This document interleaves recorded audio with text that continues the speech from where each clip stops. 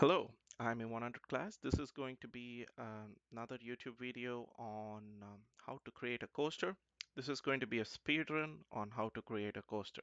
Um, so the first thing um, that we do here in Fusion is change the units to inches. So by default, it is inches for me now because that is my default, so which is good. Uh, so I'm not changing anything there. Um, so first, let's um, we need to model the um, uh, the stock for the coaster. So I'm starting with a sketch. I go create sketch and then I'm going to be creating it on the bottom plane here. Um, I use two point rectangle, the starting point at the origin, and then the next point um, arbitrarily. Um, and then once I have that done, then I use sketch dimensions. So I know the height is supposed to be 14 inches. So hit enter and then the width of the coaster, um, so X direction, it is seven inches. So that'll be the total stock. Um, so that's good. So I have the 2D sketch for my stock done. So I complete the finish sketch here. Then I click extrude um, and I know the distance um, for the extrusion is going to be 0.25 or a quarter inch. So I click that, we are creating a new body. I hit enter, there we go. So now if I go to the isometric view, if by clicking the uh, home button on the top here, so we can see the coaster board for us. Um, now um, I have arbitrarily decided that my coaster is going to be um, on the bottom portion of the stock. So I'm going to be designing it that way. So if that is the case, then my partner will have their coaster made at the top, right?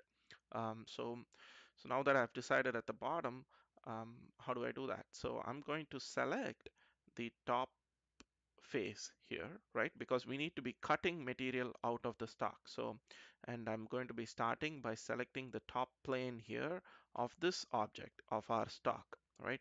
So I select the top plane there. Then I'm going to be creating a sketch on top of it. I click create sketch. Um, so now we are making a sketch on top of this stock, right? Um, I'm I like uh, my coasters to be circular, so I'm going to create a circle. Um, so that's a center point and then a circle. So for now, that looks fine. Um, so I go create the sketch, uh, the, the, the circle, then I do sketch dimensions. Um, I'm going to use 6.5 as the diameter for the circle. So this will be the um, outer diameter and then um, I want this circle to be at the center, right? So, um, so that means 3.5 from the left edge and um, 3.5 from the bottom as well, because um, um, that gives us the 7 by 7 um, half for our uh, uh, for ourselves because our partner will have the other top right? So now we have a circle that is centered on the stock uh, with a diameter of um, 6.5 um, next what I do is I'm going to be creating another circle um, that is concentric. So I create the center diameter circle here. I start with the center um, coincident with the other circle and then I'm create another circle here right? Um, so that's good. Now to set the diameter, um, the diameter here, I'm going to set it as um, 6.25 inches, right? So 6.25 inches. Um, so that is a good concentric circle there. And then I'm going to be uh, selecting finish sketch. So there we go. So now we have a concentric circle here. So the reason why I did this is because now I'm able to select. So this you should be careful while doing this. It's better to be zoomed in. So I can now select this portion that's right in the middle. Um, so that's the ring of that concentric circle. So I make sure you have that selected. So you select that and then I click extrude again. So now, um, well, um, the selection went away. So let me go back and select that. So there we go.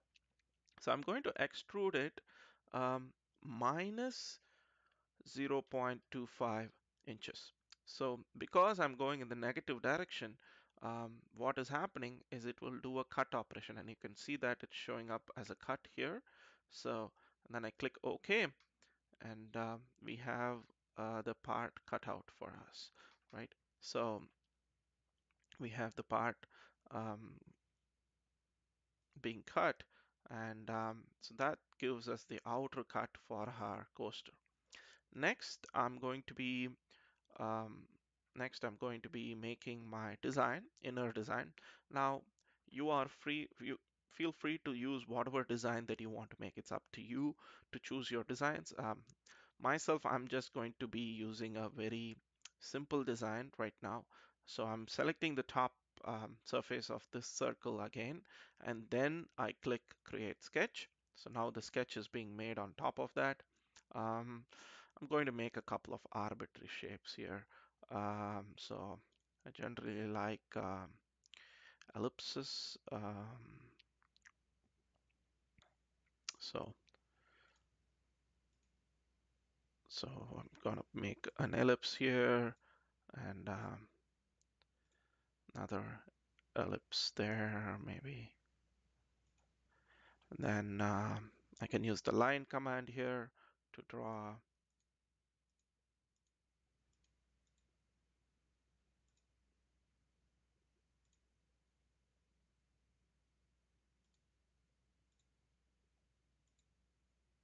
So again, it's, it's just some arbitrary shape that I'm drawing. Um, maybe I'm ready for Halloween, um, but uh, um, maybe that, that that hopefully that looks like a drawing. But anyway, um, so that's going to be my design that I'm going to be carving on my uh, coaster, right? So then I click Finish Sketch. So um, and once again, um, I'm going to be doing an extrude cut. So I go to Extrude, to select the profiles, I select uh, this oval, I select the other oval, then I select this arbitrary shape. So these three shapes are what are what I want to be cut out from my coaster. Um, so this distance I'm going to do as negative 0.125. And the reason why I'm using negative 0.125 is because um, that um, 0.125 is the smallest tool that we have. So this allows me to cut everything in one pass. So that's why I'm doing it um, as 0.125. And then I click OK. So we have uh, uh, the coaster uh, done, design done. Um, so let me show you this in the isometric view. So there we go. So that is how you design a coaster. Now I can save this file.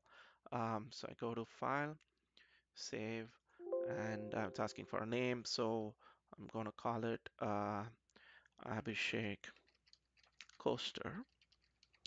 Um, and then I'm saving it in the cloud.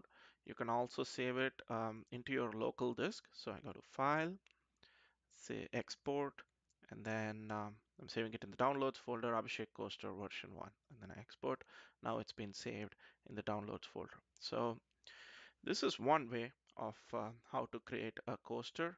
Um, in the next video, I'll be showing you how to um, transfer this design into manufacturing and creating toolpaths and the G code. Okay, so thank you for watching.